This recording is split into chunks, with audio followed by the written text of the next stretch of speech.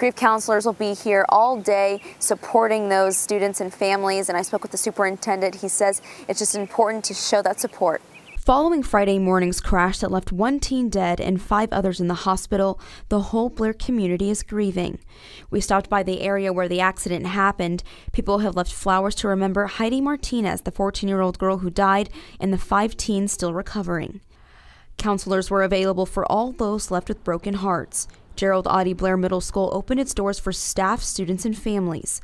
Blair School District Superintendent says this is just one way to show support and begin the healing process. It's just important to, uh, you know, where the students are grieving right now that we're there for them. Summer's a hard time. I mean, we're uh, away from the students, the, the teachers aren't, you know, as, as, available. And so we just wanted to make sure that the school was open and that um, we've identified a place where kids can meet and grieve and talk and um, remember their classmate and their friends.